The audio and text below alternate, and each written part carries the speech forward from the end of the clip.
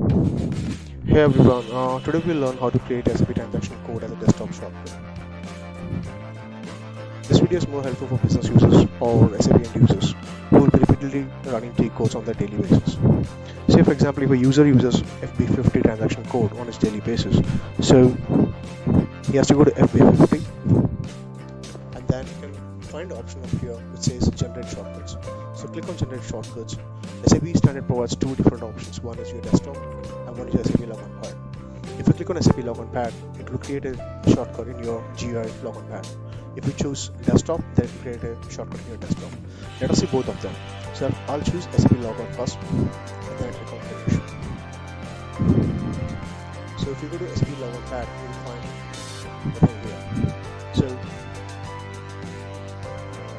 Close this code. I'll log in. And then I simply click on this. So it asks for password, so I'll put the password.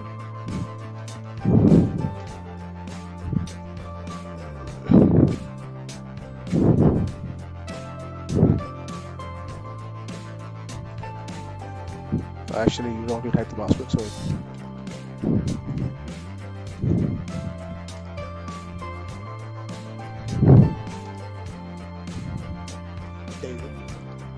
the screen away comes to everything. Now we'll see the second option which says to your desktop. So click on the same thing again, and then I'll change here for SAP login to desktop.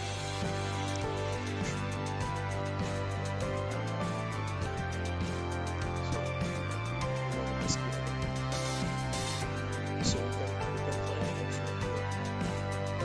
desktop.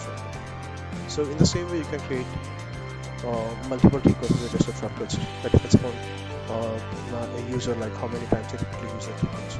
So when you click on this, it simply asks for a password.